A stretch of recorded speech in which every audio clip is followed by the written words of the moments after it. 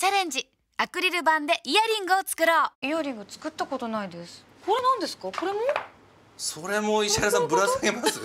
重いかも。可愛い。あでもこんなのも可愛いじゃん。あすごい可愛い。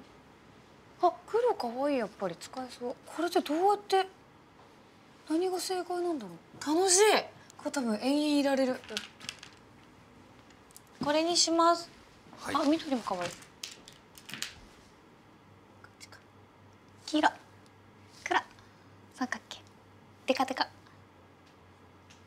あ、あいけた。いきました。うん。できました。